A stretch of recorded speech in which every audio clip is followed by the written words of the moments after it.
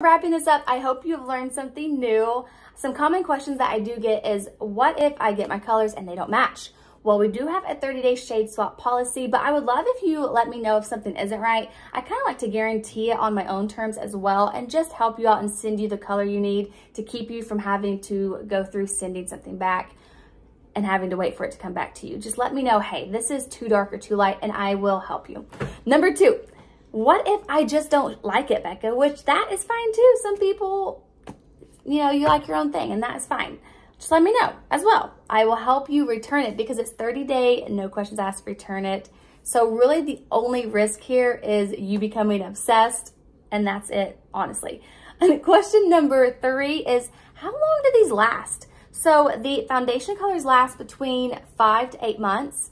The contour is around eight to 12 months and the lip, lip and cheek is usually around eight to 12 months, to be honest, if not longer. um, so they do last a really long time. As you saw in my video, a little goes a long way. You don't put a lot everywhere. So they do last pretty darn long.